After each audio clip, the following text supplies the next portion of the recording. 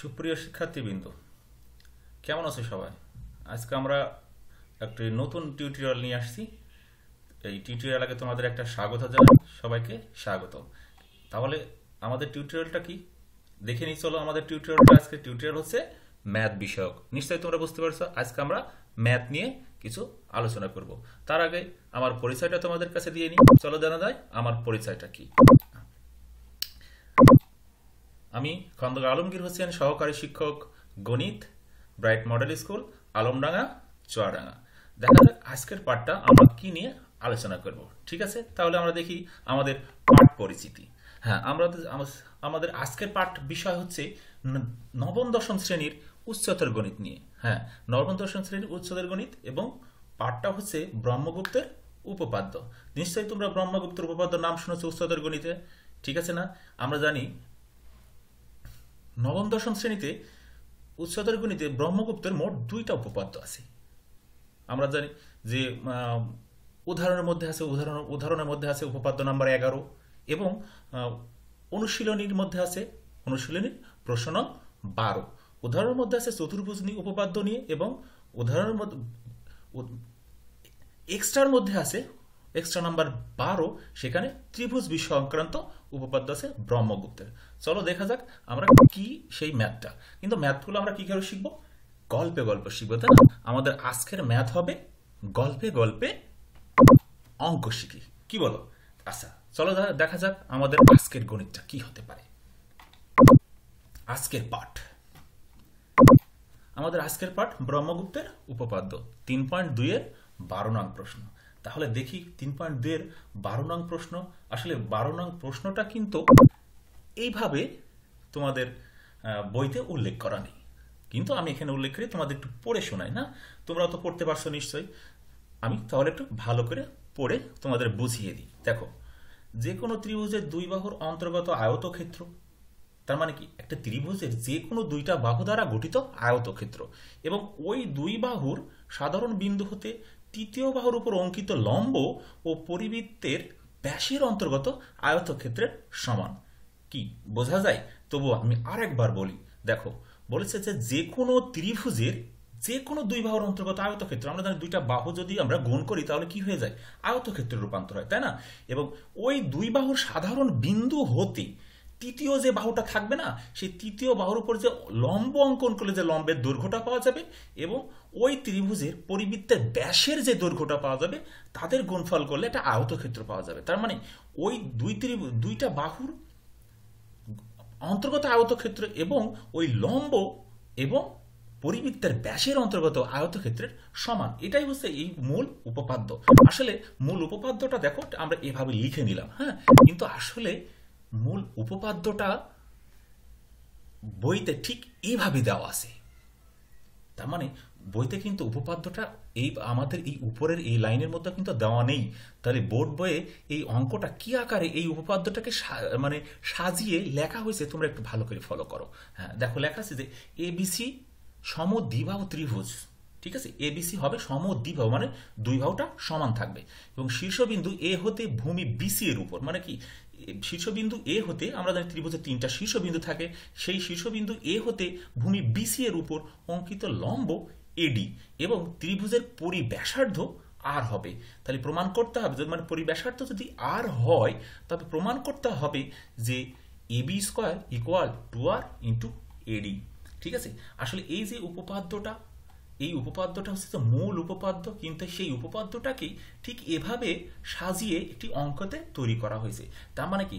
এই অঙ্কটা সাজানো আছে, আর উপপাদ্য কিন্তু এই মূল উপরে এই যে লেখা দেখছি না, এই যে যে সবুজ লেখাটা আছে না, এই সবুজ লেখাটাই কিন্তু এই মূল উপপাদ্য। আর এটাকে সেই মূল উপপাদ্য দিয়ে বোর্ড বইয়ের এই অঙ্কটাকে ঠিক এভাবে তৈরি করা হয়েছে। তাহলে চলো দেখি আমরা এই মূল উপপাদ্যটা এবং এই বইতে যেভাবে অঙ্কটা তৈরি করা আছে, সেটাকে যদি আমরা একটু চিত্রের মাধ্যমে ব্যাখ্যা করতে পারি, তাহলে একটু ভালো ক্লিয়ার হবে, হওয়া যাবে, তাই না?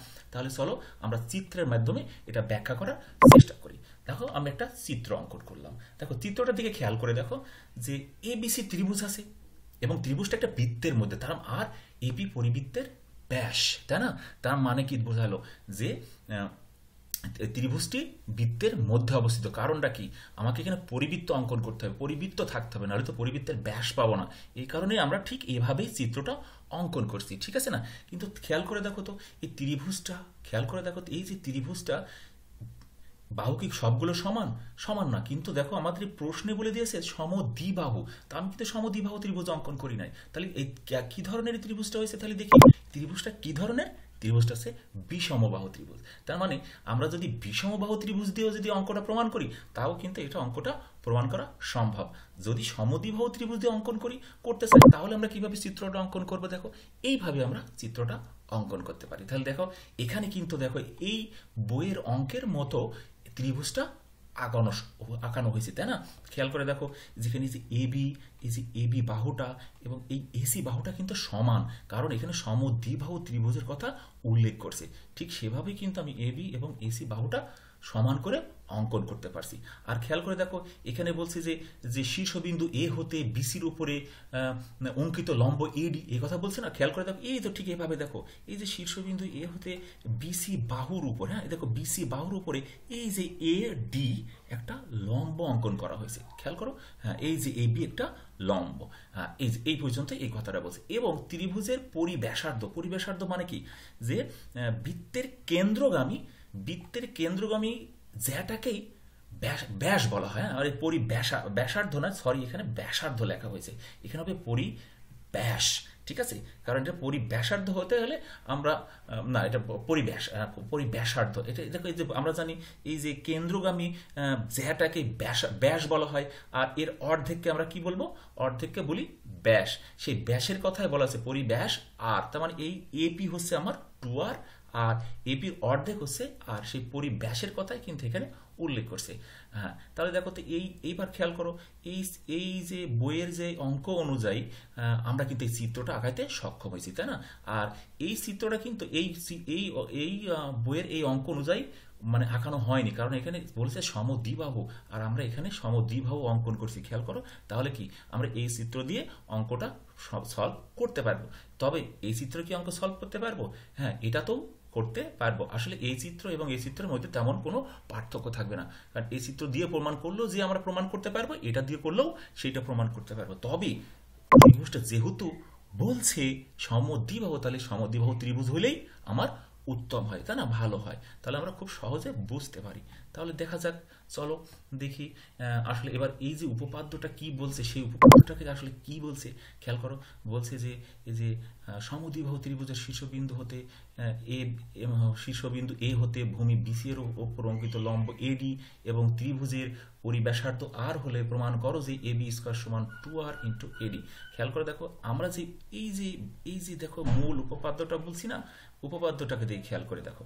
উপপাদ্য বলছে যে যে কোনো দুই বাহুর অন্তর্গত আয়তক্ষেত্র। তাহলে খেয়াল করো, এই যে এই ত্রিভুজের যে কোনো দুই বাহু বলতে এ বি এবং এসি এর অন্তর্গত আয়তক্ষেত্র খেয়াল করে, এই যে অন্তর্গত আয়তক্ষেত্র, ঠিক আছে, তাই না? আবার তারপর দেখো বলছে, ওই দুই বাহুর সাধারণ বিন্দু হতে। দেখো, ওই দুই বাহুর এই যে এ বি এবং এসি সাধারণ বিন্দু কিন্তু এ তাই না? এই সাধারণ বিন্দু হতে তৃতীয় বাহুর উপর অঙ্কিত লম্ব, তাহলে তৃতীয় বাহুর উপর অঙ্কিত লম্ব কিন্তু এডি খেয়াল করে, এই দেখো এডি হ্যাঁ তাহলে তৃতীয় বাহুর উপর অঙ্কিত লম্ব এবং পরিবৃত্তের ব্যাসের অন্তর্গত। তাহলে দেখো এপি কিন্তু পরিবৃত্তের ব্যাস। তাহলে এই লম্ব এবং ব্যাসের অন্তর্গত আয়তক্ষেত্রের ক্ষেত্রফলের সমান। এটাই কিন্তু মূল উপপাদ্য ছিল। আর সেই উপপাদ্যটাই কিন্তু এখানে সাজানো হয়েছে।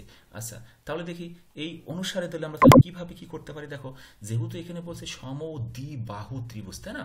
খেয়াল করো, এখানে দেখো ভালো করে খেয়াল করো, সম বাহু ত্রিভুজের কথা বলা হয়েছে। সেই জন্য কিন্তু আমরা এই সম দ্বিবাহু ত্রিভুজই অঙ্কন করছি। তার মানে এ, বি এবং এসি সমান। সেই জন্য তো আমি এই যে এসির পরিবর্তে এ বি বসানো হয়েছে, তাই না? এ বি বসানো হয়েছে। তোমরা কি বুঝতে পারছ নিশ্চয়ই? যে এখন এই যে এসি কে সরাই এ বি লিখছি। তার মানে কি? এই সমদ্বিবাহরের কারণেই কিন্তু কথাটা লিখতে পারছি। আবার এদিকে খেয়াল করো এপি মানে কি? এপি মানে তো আমরা বলেছি পরিবৃত্তের ব্যাস। আর আমরা জানি ব্যাস হচ্ছে যে আমরা জানি ব্যাসার্ধ হচ্ছে আর আর তাহলে ব্যাস হচ্ছে টু আর সেই এপির পরিবর্তে সেজন্য তো এখানে টু আর বসানো হয়েছে। ঠিক আছে না? আচ্ছা পরের লাইনটা কি হতে পারে? এই যে, যেহেতু আমরা এই যে এবি সমান সমান এসি বলেই তো আমরা এই কাজটা করতে পারছি। আচ্ছা তাহলে দেখো, এখন এই যে এবি এবং এবি গুণ করলে হয় এ বি ই স্কোয়ার। তার মানে কি এই লাইনটাই তো রয়ে গেছে। তার মানে কি এটাই তো আমাকে প্রমাণ করতে বলছে। এই দেখো যে মূল বোর্ড বইয়ের যে প্রশ্নটাতে এটাই তো প্রমাণ করতে বলছে। তার মানে কি এটা যদি এখন আমি এই ত্রিভুজ দিয়েও করতাম তাও কিন্তু সেই একই কথা আসতো, ঠিক আছে? তবে এই মাঝখানের এই দুইটা, এই এই মানে এই লাইনটা লিখতাম না। কারণ তখন আমার এইটাই প্রমাণ হয়ে যাইতো, তাই না? কারণটা কি? কারণ এখানে তো এ বি আর এসি সমান না। সেজন্য এইটাই কিন্তু যথেষ্ট ছিল প্রমাণ করা, তাই না? তখন আর যদি আমি এই লাইনটা, এই বইয়ের এই প্রমাণটা করতে চাই, তাহলে এই দুইটা লাইন করে দিলেই কিন্তু বইয়ের প্রমাণটা হয়ে যাবে, তাই না? আচ্ছা আচ্ছা চলো যাই পরবর্তী পেজে যাই। পরবর্তী পেজে দেখো যে মূল বইয়ের যে অঙ্কটা, সেই অঙ্কটা আমি এখানে উঠাই দিলাম, যেন বোঝার ছবি দেখতে তাই না?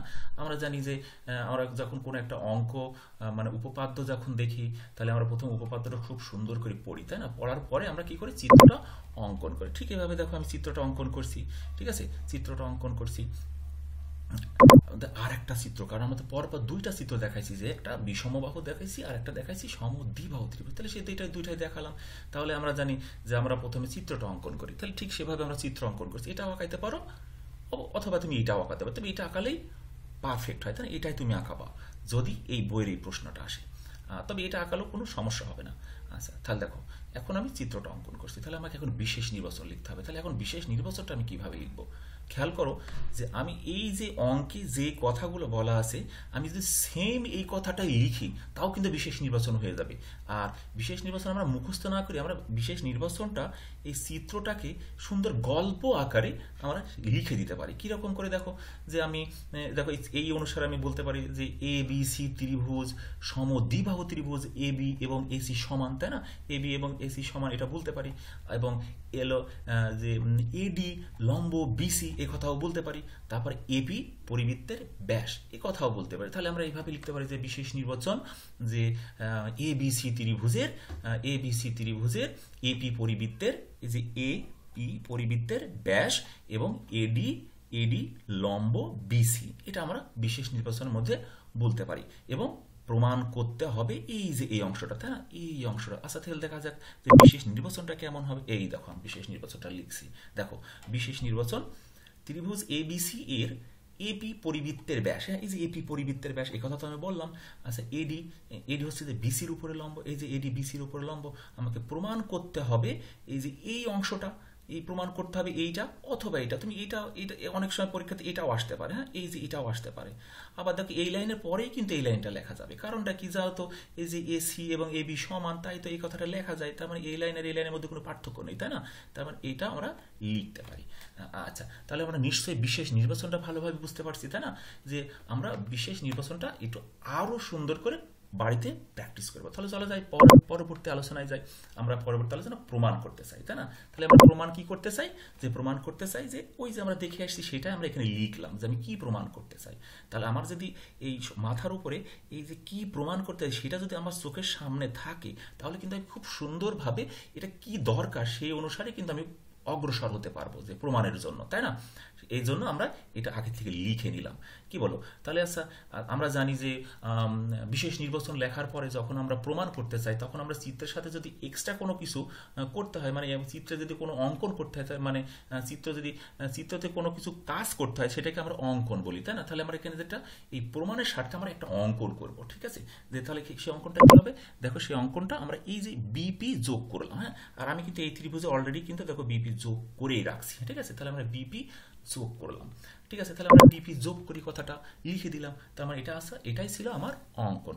ঠিক আছে? এটাই আমার অঙ্কন ছিল। আচ্ছা অঙ্কন এই করার ফলে দেখো তো, চিত্রের দিকে একটু খেয়াল করে দেখো। চিত্রের দিকে কি ঘটনা ঘটছে? আমি কিন্তু উপরে চিত্রের কথা বলছি। দেখো, এই চিত্রের কথা ভাবো। যখন আমি এই বিপি যোগ করছি, যোগ করার ফলে খেয়াল করে দেখো যে এ বি পি এই যে খেয়াল করো এ বি পি একটা ত্রিভুজ গঠন হয়েছে, তাই না? আবার খেয়াল করে দেখো, আমি এ ডি সি এইদিকে আর একটা ত্রিভুজ আছে, এই যে এই ত্রিভুজটার কথা বলছি। আবার এই যে এই মোট ত্রিভুজটার কথা বলছি, দুইটা ত্রিভুজ হয়েছে। এখন তুমি মনে করো যে বিপি যোগ করলাম হ্যাঁ? তুমি বলে স্যার তাহলে আমি বিপি কেন যোগ করব? আমি তো পিসিও যোগ করতে পারতাম হ্যাঁ? তুমি পিসিও যোগ করতে পারো। ঠিক আছে? এই বিপি যোগ করবা কি পিসি যোগ করবা, এটা একান্তই তোমার ব্যাপার, ঠিক আছে? আমি এখানে আপাতত বিপি যোগ করে তোমাকে প্রমাণ করে দেখাবো। তুমি বাড়িতে এটা খুব সুন্দর করে বোঝার পরে তুমি নিজে নিজেই পিসি যোগ করে এটা প্রমাণ করার চেষ্টা করবে। যদি তুমি পিসি যোগ করে প্রমাণটা করতে পারো, তাহলে বুঝতে পারবে তুমি আসলে অঙ্কটা মানে উপপাদ্যটা তুমি মুখস্থ করো না উপপাদ্য উপপাদ্যটা তুমি সুন্দরভাবে বুঝে নিতে পারছ, তাই না? আচ্ছা চলো যাই, এবার আমরা প্রমাণে চলে যাই। আচ্ছা প্রমাণে যাওয়ার আগে দেখো, আমি যে যে কথাগুলো বললাম, দেখো, এই যে এপি এপি কি? আমরা জানি এপি হচ্ছে পরিবৃত্তের ব্যাস, ঠিক আছে? এপি পরিবৃত্তের ব্যাস, আর এই যে, এই এই অংশটা কি? আমরা দেখো যে এপি পরিবৃত্তের ব্যাস, যা, এই যে দেখো যে এ এখানে যে বি বিন্দুতে, দেখো, এই বি বিন্দুতে এই ব্যাসের উপরে কোনটা দণ্ডায়মান, তাই না? দেখো ব্যাসের উপরে কোনটা? দণ্ডায়মান। আর আমরা জানি কি যে এই যে পরিবৃত্তের ব্যাসের উপর যে কোনটা দাঁড়া মানে দণ্ডায়মান থাকে, তাকে আমরা কি বলি? তাকে আমরা বলি অর্ধবৃত্তস্থ কোণ আর আমরা কি জানি যে অর্ধবৃত্তস্থ কোণ এক সমকোণ, তার মানে নব্বই ডিগ্রি। আচ্ছা আচ্ছা তাহলে সেই কথাটা দেখে লিখতে পারি কিনা? দেখো, প্রমাণের মধ্যে প্রথম কথাই কিন্তু এইভাবে লিখছি। দেখো, খেয়াল করো যে এ বিপি তার মানে যে এ বিপি এই যে আমি তীর চিহ্ন দিয়ে দেখাচ্ছি বি কোনটা খেয়াল করো, এই যে বি কোনটা এই বি কোনটার মান নব্বই ডিগ্রি মানে এক সমকোণ। কারণটা কি? কারণ হচ্ছে যে যে এপি ব্যাসের উপরে দণ্ডায়মান, আর এপি ব্যাসের উপরে দণ্ডায়মান হলে সেটাকে আমরা কি বলি? অর্ধ বিত্তস্ত কোণ বলি, তাই না? সেই কথাই তো আমরা এখানে লিখছি, যেহেতু অর্ধ বিত্তস্ত কোণ এই কারণেই কিন্তু এই কোণটা এক সমকোণ তার মানে আমি এই কোণটার কথা বোঝাইতে চাইলাম, তাই না? আচ্ছা তাহলে এটা এক সমকোণ এবার খেয়াল করে দেখো, এই যে আমি, এই যে এখানে দেখো ডি বিন্দুতে একটা চিহ্নিত করে রাখছি। খেয়াল করে দেখো ডি বিন্দুতে এর চিহ্নিত করে, তার মানে কি? এ, ডি, সি, এই যে এ, ডি, সি, এই যে এই কোণটা, এই যে এই কোণটা কিন্তু নব্বই ডিগ্রি। কারণ তো নিশ্চয়ই তোমরা বুঝতে পারছ, কারণ এ তো এডি কিন্তু লম্ব, তাই না? এডি লম্ব, সেই করে তো আমার ডি বিন্দুতে একটা নব্বই ডিগ্রি কোণ হয়েছে, তার মানে সেই কথা কিন্তু আমরা লিখতে পারি। তার মানে যে এ, ডি, সি, তার মানে যে এ ডি সি এটা কিন্তু এক সমকোণ, তাই না? কারণ এই যে নব্বই ডিগ্রি, এই কথাই তো এখানে লিখছি, দেখো, এই যে যেহেতু এডি লম্ব বিসি মানে এডি যে এডি বিসির উপরে লম্ব, এই কারণে তো কিন্তু এই যে ডি কোণটা, এই যে ডি কোণটা, এই যে ডি কোণটা এক সমকোণ, সেই কথা এখানে আমরা লিখলাম। তার মানে কি? এই কোণটা এক সমকোণ এবং এই কোণটাও এক সমকোণ, ঠিক আছে? আচ্ছা এইটা বাদও দেখো, খেয়াল করে দেখো, যে এই যে এই যে এই যে পি কোণটা, খেয়াল করো, এই যে পি কোণ আর এই যে সি কোণ, তোমরা একটু ভালো করে ভালো করে খেয়াল করো। এই যে সি কোণ আর এই যে পি কোণ, আমি যে যেটা দেখাচ্ছি তোমাদের, দেখো, এই যে পি কোণ আর এই সি কোণ, দেখো, এই পি কোণ এবং সি কোণ, দেখো, এ বি এ বি চাপের উপর দণ্ডায়মান, তার মানে এই কোণটা আর যে এই কোণটা, এ বি চাপের উপর দণ্ডায়মান, ঠিক আছে? আর আমরা জানি যে একই চাপের উপর দণ্ডায়মান বৃত্তস্থ কোণ পরস্পর সমান। বৃত্তস্থ কোণ তো আমরা বুঝি, তাই না? যে বৃত্তস্থ কোণ কোনো চাপ যখন পরিধির কোনো বিন্দুতে কোণ উৎপন্ন করে, সেটাকে তো বৃত্তস্থ কোণ বলে, তাই না? তার মানে যে, এই যে এবি চাপ, এই যে এবি চাপ পরিধির পি বিন্দুতে যে পি কোণ তৈরি করছে, এই যে এবি চাপ, এই যে সি বিন্দুতে একটা কোণ তৈরি করছে, তাই না? এই কোণ তৈরি করছে, তাহলে মানে কি? এই পি কোণ এবং এই সি কোণটা কি বৃত্তস্থ কোণ বলা যায়? আর আমরা জানি যে একই চাপের উপর দণ্ডায়মান বৃত্তস্থ কোণ পরস্পর সমান, তাই তো? সেই জন্যই তো আমরা বলতে পারি যে পি কোণ আর এই সি কোণটা সমান। এই কথাটা এখন আমরা লিখতে পারি, তাই না? দেখো তো যে যে এ এ বিপি এ ডিসি ও, এটা তো আমরা দেখাচ্ছি যে আচ্ছা এবার দেখো এই কোণটা দেখাচ্ছি যে এই এটা আমি দেখাতে চাচ্ছিলাম, ঠিক আছে? যে এই যে এ এ পি বি এবং এ সি ডি এটা একই সমান, তাই না? এর পরস্পর সমান। কারণ কি? যে একই চাপ এ বির উপর অবস্থিত। এটাই তো আমি বোঝালাম। তার মানে কি? এই পি কোণ এবং এই সি কোণটা সমান। এখন খেয়াল করে দেখো যে এই যে এ, সি, বি কোণকে আমরা কি এ, সি, ডি কোণ হিসেবে লিখতে পারি? তার মানে আমি এ, সি, বি না বলে এ, সি, ডি বলতে পারি, তাই না? হ্যাঁ তাহলে এই কথাটা বলতে পারি সেই কথাটাই কিন্তু আমি এখানে লিখলাম তাই না? এই কথা আমি শুধু লিখে দিতে পারি যে আমরা এই যে, এ সি বি না বলে এ সি ডি বলতে পারি। দেখো চিত্র অনুযায়ী হ্যাঁ? এই চিত্র অনুযায়ী এ সি ডি তার মানে দেখো, এইভাবে আমরা বলতে পারি। তার মানে কি? আমি কি করতে চাইলাম? দেখো, খেয়াল করে দেখো এখানে যে এই যে এই যে, এই কোণ এই যে, এই কোণ এবং এই ডি কোণ মানে যে বি কোণ এবং ডি কোণ সমান, আবার দেখো এই যে, এই পি কোণ আর এই সি কোণ সমান, এটা আমরা এখানে প্রমাণ করলাম। ঠিক আছে? তাহলে এখন আমরা দেখি যে এই যে আমরা যে কোণগুলো প্রমাণ করলাম, কেন প্রমাণ করলাম? কারণ আমি এই যে এ বিপি ত্রিভুজ, এই যে এ বিপি ত্রিভুজ মানে প্রথমে তো বলছিলাম যে এ বিপি ত্রিভুজ এবং এ ডিসি ত্রিভুজ নিয়ে আমরা একটু কাজ করব, তাই না? এ ডিপি ত্রিভুজ নিয়ে কাজ করব। সেই জন্য তো লিখলাম যে এবিপি এবং এডিসি ত্রিভুজের এডিসি ত্রিভুজের এই যে এই বি কোণ আর এই ডি কোণ সমান, যা আমরা উপরে কিন্তু প্রমাণ করে আসছি। খেয়াল করে দেখো, এই যে বি কোণ, এই যে বি কোণ আর এই যে ডি কোণ সমান, এই কথাটা লিখলাম, এই ত্রিভুজের সাথে, তাই না? আবার পরবর্তীতে দেখো, এই যে এই যে এই যে পি কোণ আর এই যে সি কোণ, এই যে পি কোণ আর এবং সি কোণ সমান তাই না? এই যে আমরা কিন্তু উপরে প্রমাণ করে আসছি তাই না? যে প্রমাণ করে আসছি, তার মানে কি? এই ত্রিভুজের, এ বি পি ত্রিভুজের বি কোণ আর এ ডিসি ত্রিভুজের ডি কোণ, এরা দুজন পরস্পর সমান, আবার এই পি কোণ আর এই সি কোণ পরস্পর সমান, এই যে চিত্র অনুযায়ী। এই ত্রিভুজের এই যে বি কোণ আর এই ডি কোণ সমান, এই পি কোণ আর এই সি কোণ সমান। আচ্ছা আর এটা তো দেখলাম কি, তাহলে আমরা দুইটা কোণ সমান করতে পারছি। তাহলে থাকল কোনটা দেখো তো, অবশিষ্ট থাকল কোণ, এই যে এই পাশের এ কোণ আর এই পাশের এ কোণ, তাই না? আমার দুই পাশে দেখো এ কোণটা বাকি থাকল। তার মানে আমরা এ তাহলে আমরা জানি যে দুটি ত্রিভুজের দুটি ত্রিভুজের যদি পরপর দুইটা কোণ সমান হয়ে যায়, তার মানে দুইটি ত্রিভুজের মানে পরস্পর মানে দুইটি কোণ যদি সমান হয়ে যায়, তাহলে আমরা তৃতীয় কোণ কি বলতে পারি? সমান, তাই না? তার মানে কি, দুইটি ত্রিভুজের দুইটি কোণ যদি সমান হয়ে যায়, তৃতীয় কোণ অবশ্যই সমান হবে, তাই না? তার মানে সেই কারণে তো আমরা দেখো এই কোণটা আর এই কোণটা সমান করে দিলাম, অবশিষ্ট কোণ আচ্ছা এটা চেনার একটা সহজ বুদ্ধি আছে। আমরা এই বুদ্ধিটা ফলো করলেই কিন্তু দেখো আমরা খুব সহজে কিন্তু এটা লিখে ফেলতে পারি। খেয়াল করো যে এই যে এ বিপি ত্রিভুজের হ্যাঁ? এ বিপি ত্রিভুজের দেখো বি কোণ হিসেবে মাঝখানে ব্যবহার করা হয়েছে, আবার দেখো পিটাকে কোণ হিসেবে মাঝখানে ব্যবহার করা হয়েছে। খেয়াল করো, এটাকে ব্যবহার করা হয়নি, সেই জন্য মাঝখানে এটা দিলেই কিন্তু তৃতীয় কোণটা হয়ে যায়। এটা লেখার একটা সহজ বুদ্ধি। ঠিক এভাবেও কিন্তু এখানে আমি সেই কোণগুলো লিখছি। তার মানে কি? এখন আমরা দেখলাম এই এই ত্রিভুজ এবং এই যে এই ত্রিভুজটা, তিনটা কোণই সমান হয়ে গেল, তাই না? আর আমরা জানি যে দুইটি ত্রিভুজের তিনটা কোণই যদি সমান হয়ে যায়, তাহলে ত্রিভুজটাকে আমরা কি বলতে পারি বলো তো? ত্রিভুজটাকে আমরা কি বলি? ত্রিভুজটাকে আমরা বলি যে যে ত্রিভুজটাই সদৃশ কোণী ত্রিভুজ, তাই না?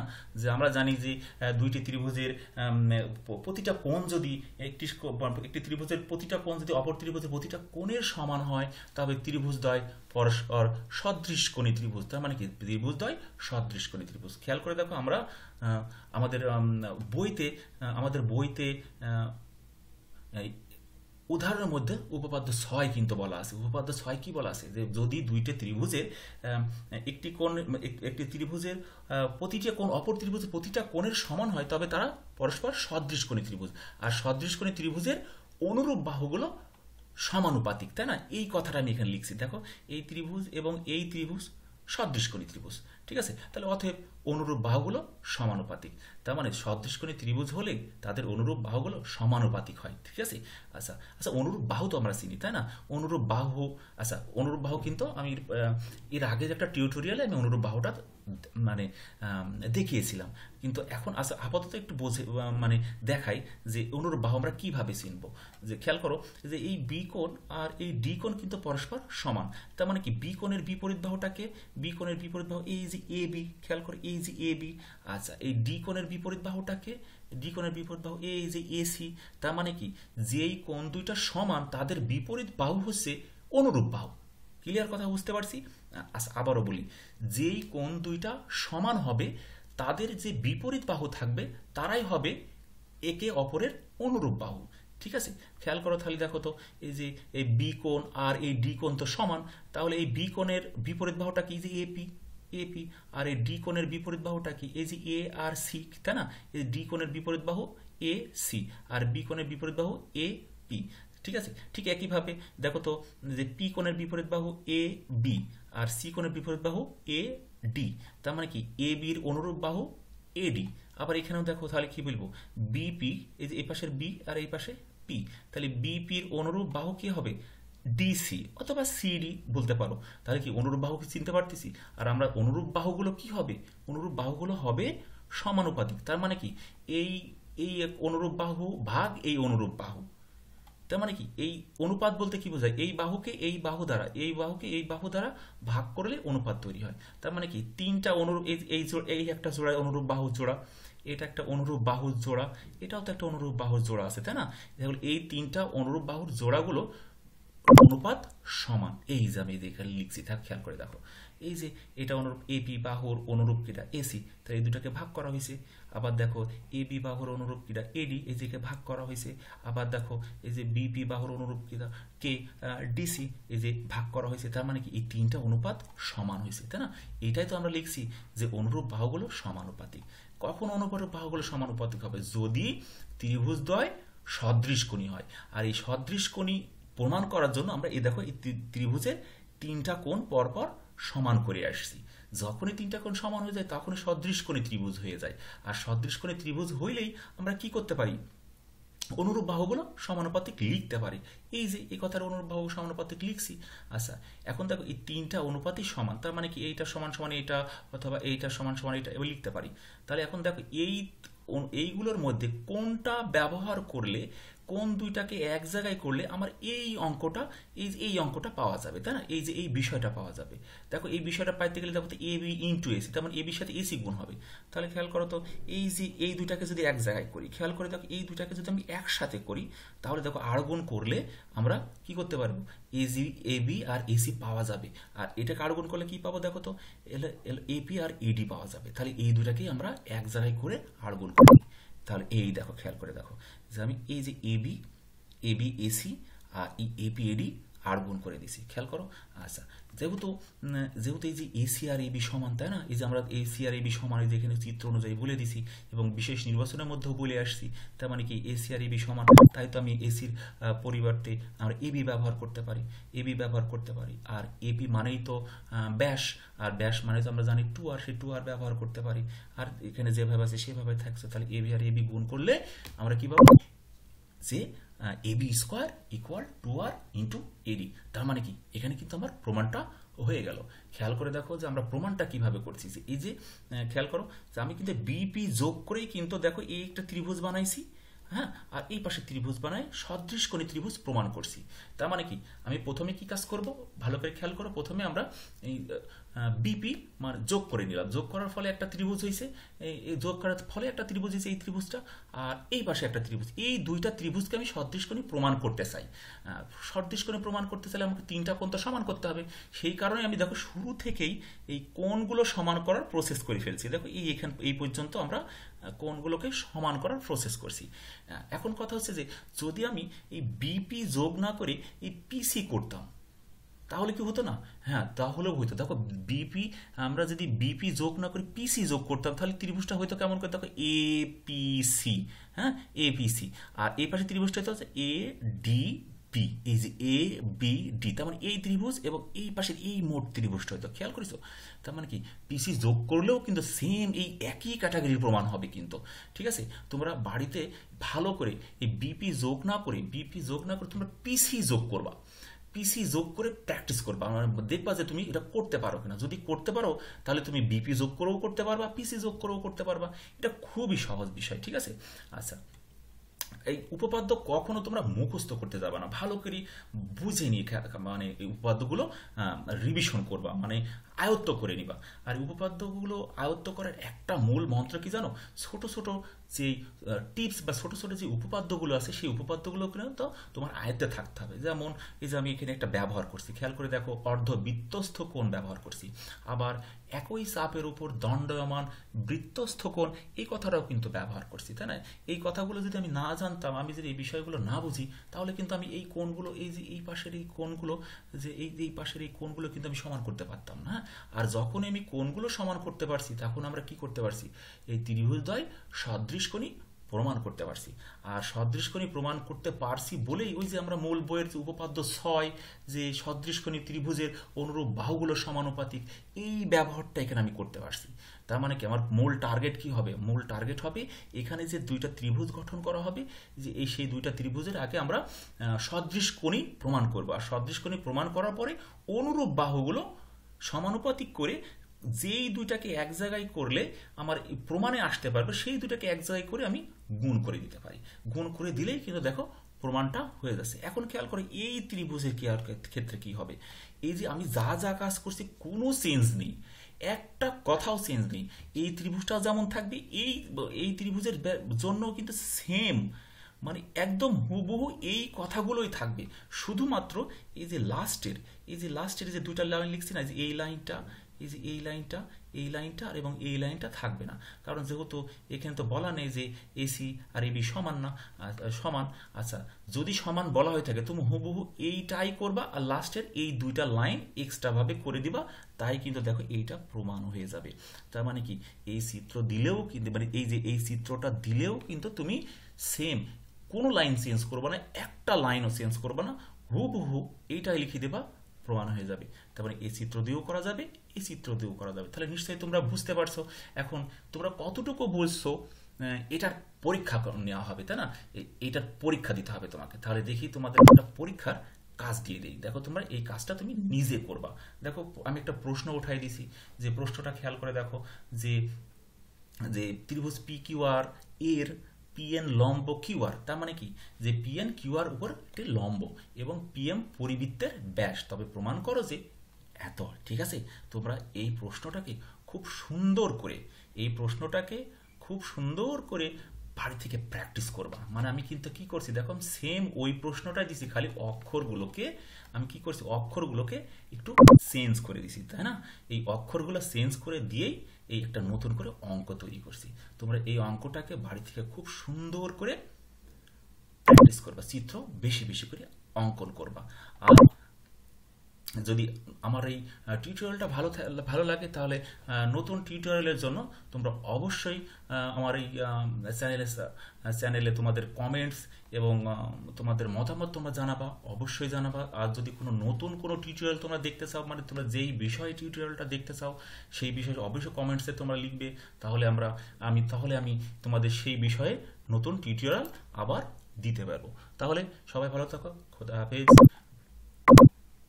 দেখো, ও খোদাফেজ লেখার আগে দেখেন, দেখো এন মি প এ ম, নি, প। কারণ কি? আমি বোঝাতে চাইছি যে তোমরা, এটা মানে হচ্ছে যে এসো, মজা নিয়ে পড়ি।